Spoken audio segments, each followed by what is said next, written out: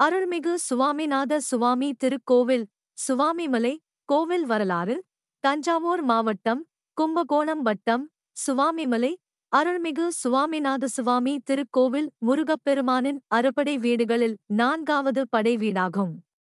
தந்தையாகிய சிவபெருமானுக்கு ஓம் என்ற பிரணவ மந்திரத்தை உபதேசித்த பிரசித்தி பெற்ற தலமாகும். முருகப்பெருமான் இக்கோவிலில் தகப்பன் சுவாமி என புகழ் பெற்று காணப்படுகிறார். குருவாகி இருந்து அருளியதால் குருமலை என்றும் கந்தாசலம் சிரகிரி சிவமலை என்றும் அழைக்கப்படுகிறது. இக்கோவிலின் மற்றொரு பெயர் திருவேரகம் என அழைக்கப்படுகிறது.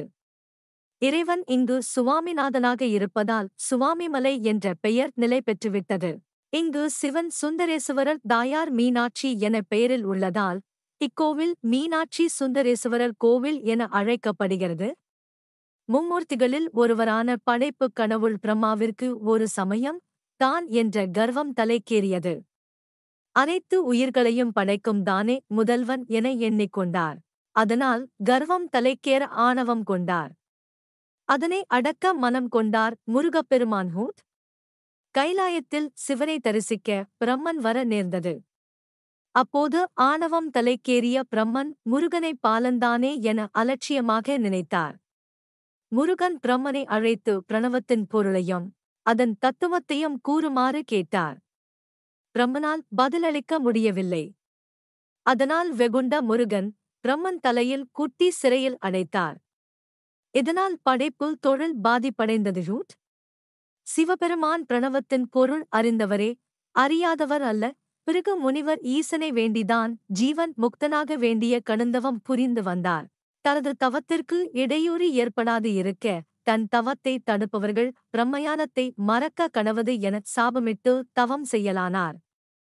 அவருடைய தவாக்னி தேவர்களை பீடிக்க அவர்கள் மகாவிஷ்ணுவுடன் பரமேஸ்வரனை அணுகி பிரார்த்திக்க சிவபெருமான் தன் திருக்கரத்தை முனிவரின் சிரசில் வைத்து அவருடைய தவாக்னியை அடக்குகிறார்.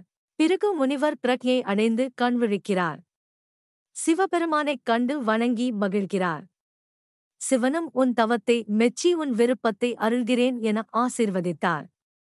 பிறகு முனிவர் சிவன் தன் தவத்தை கலைத்ததால் தன்னுடைய சாபம். சிவனை பாதிக்குமே என வருந்தி சிவனிடம் மன்னித்தருளும்படி கேட்கிறார். சிவனும் உன் வாக்கிற்கு பழுது வராது. நான் உன் சாபத்தை மகிழ்வுடன் ஏற்கிறேன் என்று கூறுகிறார். ஆத்மாவை புத்திர நாமசி என்கிறது வேதவாக்கு. அதன்படி தன் பிள்ளையான சுவாமிநாதனிடம் ரிஷியின் வாக்கை உண்மையாக்க சிவன் பிரம்மோபதேசம் செய்து கொள்கிறார். இதுவே சிவனுக்கு பிரணவப்பொருள் மறக்க காரணமாகும் ரூத். தேவர்கள் அனைவரும் சென்று நடந்ததையும் நடக்க தேவைப்படுவதையும் சிவனிடம் எடுத்துக் கூறினார்.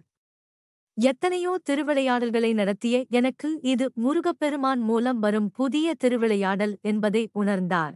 முருகனிடம் பிரம்மனை விடுதலை செய்யும்படி கூறினார்.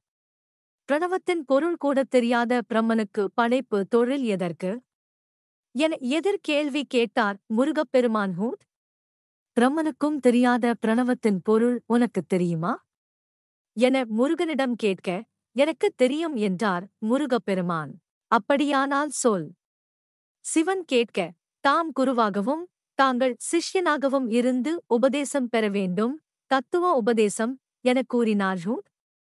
முருகப்பெருமானின் திருவிளையாடலின் உச்சகட்டம் நெருங்கிவிட்டதை உணர்ந்தார் சிவபெருமான் ஹூட் கண்டறியாதன கண்டேன் என்ற திருநாவுக்கரசரின் பாடலின்படி. ஜூட். தென்கைலாயம் என அழைக்கப்படும் திருவையாற்றில் இருந்துதான் சிவனின் உபதேசம் பயணம் தொடங்கியது. ஆவணி மாதம் அஸ்த நட்சத்திரம் கூடிய அற்புதமான நன்னாளில் சக்தி கணபதி உட்பட தன் படைப்பரிவாரங்களுடன் புறப்பட்டு நந்தியம்பெருமானை விட்ட இடம் நந்தி மதகு என்றும் கணபதியே அமர வைத்த இடம் கணபதி அக்கிரஹாரம் என்றும் சக்தியே அமர வைத்தது உமையாள்புரம் என்றும் சிவபெருமானின் தலையில் உள்ள கங்கேனே அமர வைத்த இடம் கங்காதரபுரம் என்றும் அழைக்கப்படுகிறது. அதன் பின்னர் சிவபெருமானும் முருகனும் தனியாக அருகில் உள்ள மண்குன்று மலை பகுதியில் ஓம் எனும் பிரணவ பொருள் உபதேசம் நிகழ்த்திய தலமானதால் சுவாமிக்கே நாதனாக இருந்தமையால் இப்பகுதி சுவாமிமலை என அழைக்கப் பெறுகிறது. பிற்காலத்தில் இம்மண்குன்றினை கட்டுமலையாக அமையப் பெற்றது. இத்தலத்தில் முருகப்பெருமானை தேவர்கள் புடைசூழ வழிபட்ட தேவேந்திரன் தனது நினைவாக ஐராவதத்தினே வெள்ளையனே முருகப்பெருமானுக்கு வழங்கியதால் மூலவருக்கு முன் என்றும் ஐராவதம் உள்ளது. முருகன் திருக்கோவில்களில் சன்னதி முன் மயில் காணப்படும். தன்னுடன் வரப்பெற்ற தேவர்களில் தமிழ் வருட பெயர் கொண்ட தேவதைகள் அறுபது பேரை இத்தலத்தில் முருகப்பெருமானுக்கு சேவை செய்ய விட்டு சென்றார்கள்.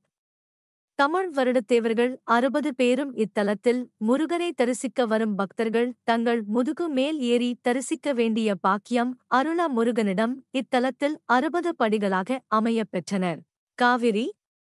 காவிரி சுவாமிநாதனை வழிபட்டு இத்தலத்திற்கு வரும் பக்தர்கள் தீர்த்தத்தில் நீராடி தரிசிக்க வேண்டும் என பிரார்த்தித்து குமாரதாரை என்கிற பெயரில் இவ்வூரில் தொடர்ந்து இருக்க அருள் பெற்றுள்ளார் ஊர் கங்கை. கங்காதேவி முருகனை தரிசித்து தனது பாபவிமோசனம் பெற்றதால் தானும் காவிரியுடன் இணைந்து இத்தலத்தில் இருக்க அருள் வேண்டினார். முருகப்பெருமானம் தனது தலத்தில் விருட்சமாக இருக்க அருள்பாலித்தார். கங்காதேவி இத்தலத்தில் தாத்தாத்ரி நெல்லி மரம் தலவிருட்சமாக பக்தர்களுக்கு அருள்பாலித்து வருகிறார் ஷூட் தீர்த்தம்.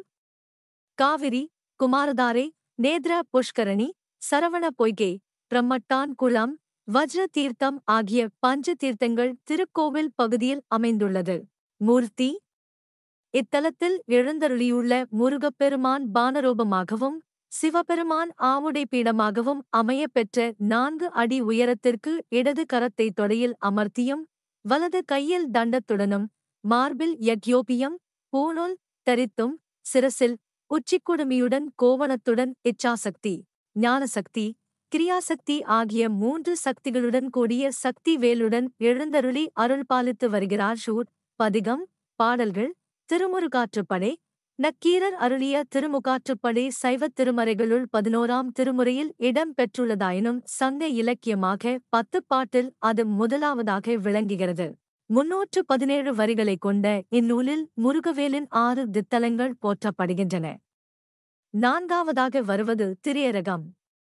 இதுவே சுவாமிமலை ஆகும் யூட் திருப்புகழ். செந்தமிழ் கந்த கடவுளை நித்தமும் அடியார்கள் சிந்திக்க வேண்டி சந்தத் தமிழில் தேனமுதமான திருப்புகழ் பாக்களால் பாடியருளியவர் அருணகிரிநாத சுவாமிகள்.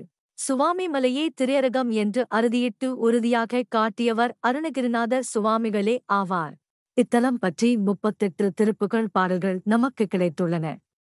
இந்நூலில் தோத்திர பகுதியில் இணைக்கப் பெற்றுள்ளன யூட் சுவாமிம்லாய் டெம்பிள் ஃபெஸ்டிவல்ஸ் திருவிழா திருக்கார்த்திகை திருவிழா பத்து நாட்கள் சித்திரை பிரம்மோற்சவம் பத்து நாட்கள் வைகாசி வைகாசி விசாகப் பெருவிழா ஆவணி பவித்ரோற்சவம் பத்து நாட்கள் புரட்டாசி நவராத்திரி பெருவிழா பத்து நாட்கள் ஐப்பசி கந்தசஷ்டி பெருவிழா பத்து நாட்கள் மார்கழி திருவாதிரை திருநாள் பத்து நாட்கள் தை பூசப் பெருவிழா பங்குனி வள்ளி திருக்கல்யாண விழா இவற்றுள் சித்திரை கார்த்திகை தை மாதங்களில் நடைபெறும் விழாக்கள் கொடி ஏற்றத்துடன் நடைபெறும் பெருவிழாக்கள் ஆகும். ஒவ்வொர் ஆண்டும் ஆங்கில வருடப் பிறப்பு நாளில் திருப்படி திருவிழா சிறப்பாக நடைபெறுகிறது. இவை தவிர கிருத்திகை மாதப் பிறப்பு அம்மாவாசை பௌர்ணமி சஷ்டி கார்த்திகை விசாகம் அன்றும் தமிழ் ஆங்கில புத்தாண்டு தீபாவளி பொங்கல் உள்ளிட்ட விசேஷ தினங்களிலும் வாரத்தின் செவ்வாய்க்கிழமைகளில் பக்தர்கள் வெள்ளமென திரள்வது வழக்கம்.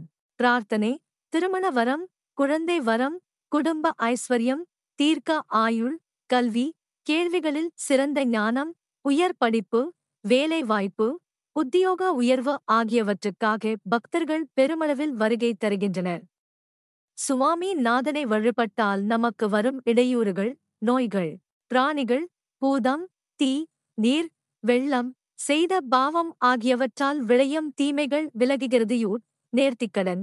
மொட்டை போடுதல் சுவாமிக்கு சந்தனகாப்பு பஞ்சாமிர்த அபிஷேகம் பால் அபிஷேகம் அன்னதானம் வழங்குவது நெய் விளக்கு ஏற்றுதல் பால்குடம் எடுத்தல் காவடி எடுத்தல் அபிஷேக ஆராதனைகள் ஆகியவை இத்தலத்து முக்கிய நேர்த்திகடன்களாக உள்ளது. சத்ரு தொல்லை இருப்பவர்கள் திருசதை அர்ச்சனை செய்கிறார்கள். கோவிலுக்கு வரும் பக்தர்களுக்கு அன்னதானம் செய்வதும் நேர்த்திகடனாக இருக்கிறது. வசதி படைத்தவர்கள் கோவில் திருப்பணிக்காக பொருள் தருவதும் வழக்கமாக உள்ளது. ஸ்வாமிம்லாய் டெம்பிள் டைமிங்ஸ் காலை ஆறு மணி முதல் ஒன்று மணி வரை மாலை நான்கு மணி முதல் இரவு ஒன்பது மணி வரை திறந்திருக்கும்.